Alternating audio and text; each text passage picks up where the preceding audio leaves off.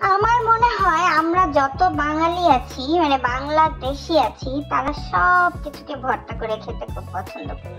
মানে যত কিছু আছে, সবজি হোক, মাছ হোক মানে আমাদের ভর্তা হলেই হলো। তো যাই হোক, আমার ফ্রিজে কিছু কাঁচা টমেটো ছিল এটা চেরি কাঁচা টমেটো। টমেটো গুলোকে কেটে তেলে ভালো মতো ভেজে, অপর চুলায় আমি একটা আলু সিদ্ধ করে নিয়েছি। আর নিয়ে নিয়েছি পেঁয়াজ, রসুন, কাঁচামরিচ এবং শুকনো মরিচ দুটোকেই ভালো মতো ভেজে নিয়েছি এবং পেঁয়াজ রসুনকেও ভালো মতো ভেজে আমি একদম কাঁচা ভাবটাকে বের করে নিয়েছি।